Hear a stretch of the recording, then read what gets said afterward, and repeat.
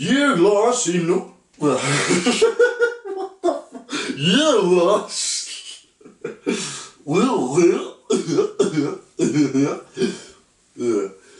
Hi, I'm Goofy, and I'm running for president. Cause you know, better me than Donald Trump, right? Okay.